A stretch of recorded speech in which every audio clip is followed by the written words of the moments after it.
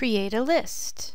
In this presentation, I will create a contact list and a discussion board list. Along the way, talking about some of the best practices, also the properties associated with a list. Let's go ahead first of all, and of course, start off at your home site. And we're going to create an instance of a contact list. By doing so, we go to Settings, and add an app. Once the apps page is loaded, we see all of the apps that we may add to our site.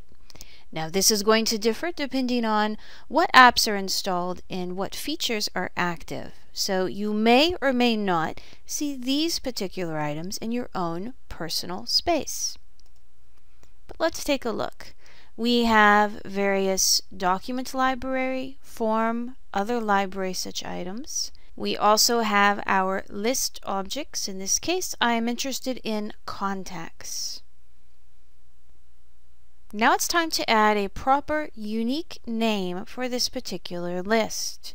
It's important that you know the very first name that you provide a list will forever become its address bar URL name meaning that it may not be changed after the fact in that address bar. Also, if that original name happens to have a space in it, it will turn into a percent 20 character in the URL. This can make the URL difficult to read, links can become convoluted, and issues may arise. It is a better idea, a best practice, so to speak, to go ahead and not use spaces. I'm going to go ahead and I will call this Contoso contacts, but I am not using a space.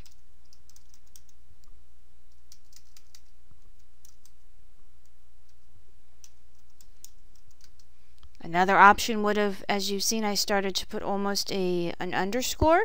That would have also been acceptable, but I prefer myself the uppercase, lowercase with no spaces. And I'll go ahead and create. Now if we take a look, we now have over in our quick launch area a Contoso contact list. I'm going to go ahead and click upon that.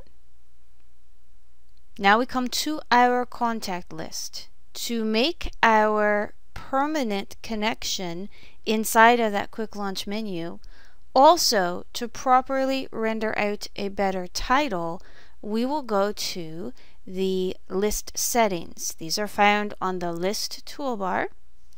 In the far right, list settings. Once the list settings have presented themselves, we have many, many choices. And if you can only remember a few things out of all the wonderful things we teach you, one of those I would want you to take away would be the fact that the list settings is the main place to go to alter and or affect how the list and or library behaves. So it's a good place to go if you're wanting to know how to change oh, quite frankly, just about anything related to that list or library. In this case, we are interested in the list name, description, and navigation. I see that the name is, of course, the no space, lowercase, uppercase. I now make them both uppercase and then, of course, put in our proper space. We have an optional description. Use for the main contacts. You know, so, so give others a reason why this list exists and how it may help them. And then, yes, please do display this in the quick launch area. And save. Give it a moment or two to process. And before we know it, we see the effects right away. I see that the Contoso space contacts, both with capital C, and then, of course, we see the title right up here. And I'll use that title as, as, of course, our breadcrumb navigation and go back to the main Contoso contact list to show you that the address bar still retains the lowercase no space name because that's the first name that we had provided for that list. So that's a good lesson for you guys to learn to think about very first off giving it a name that is specific enough yet not too specific. Example, if uh, somebody named John runs the sales department, we would not want to call it John's Sate. We should call it Sales Department and then put John as the full control owner of it. Therefore, the full control owner can always be changed, but the thing that's consistent is that it's the sales department. And then, of course, not using spaces initially, coming back into those settings, and then adding the space afterwards. Very good best practice to get used to.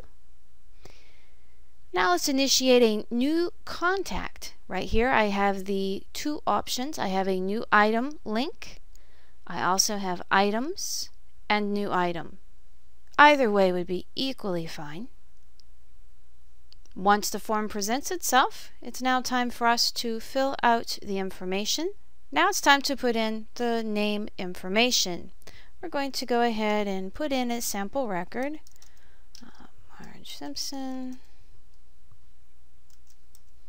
Use the tab key and this is where we can put in an address of some sort if we choose to. We also have the email address we can fill out if we if we wish to.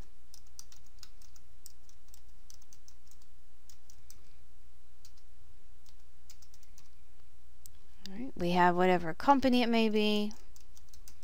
So you may fill out as much or as little as you'd like, and then when you are done, you simply click Save. Once the item has been saved, it transitions back to the main list, and I see that our contact has been placed. We have the last name, the first name, the company, and the email address. Um, but quite frankly, that's it. We could have added more, but that's all we chose to add about the contact at this point in time. Let's go ahead and create yet another type of list by going to Settings, Add an App. Once the app page loads, simply scroll down and locate the sort of item that we're wanting to create. In this scenario, we want a discussion board. And of course, we need to give it a name.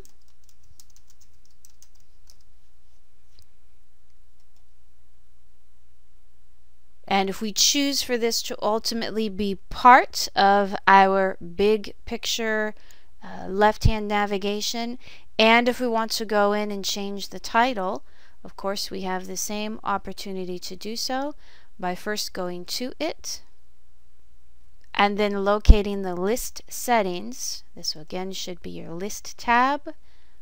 List settings on the far right clicking upon the list name, description, and navigation.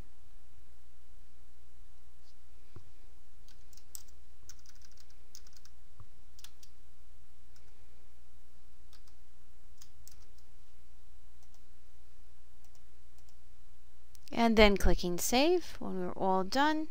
And we don't always have to have a description. Now, time to add a new discussion thread, a new discussion item. I'll go ahead and click the link.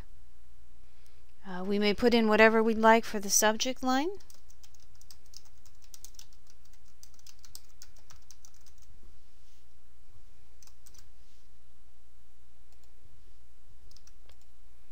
And then, of course, the message body, we have all sorts of nice things we may insert. I can put in a heading, a paragraph, Maybe first I'll put a heading in. And then after that, we'll have a paragraph, and possibly not just a paragraph, but a bulleted number, uh, or bulleted or numbered list.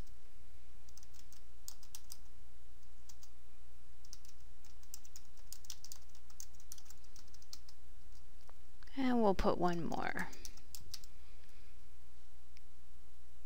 Now, we have an option to have a little checkbox here, something about to question. When this is checked, it is used as a filter for an unanswered question view. And then whatever view they happen to choose, this question, if it is a question and it has not yet been responded to, then it obviously shows up as an unanswered question. I'm going to go ahead and save. And now we see our discussion, SharePoint 2013 features. And if we click upon it to see it in its full detail, I see that my formatting has been applied with the major heading and the three bulleted items in the list. I have an option if I am the owner to go back and edit the original. If I were, let's say, logged in just as another user, I would not see the edit, but I would see a reply, and I can say, sounds great, you know, whatever the case may be, and then choose reply. And it shows the reply. So it's a great way to communicate post a question, and then get your coworkers' response to those when they have time to, of course, respond. These types of lists are very helpful for committees, any groups, any pre meeting sites, things like that, where we would like to pose some questions, gather the thoughts of others prior to meeting face to face so that we have a sense of how things are going to turn out. Up next, list columns.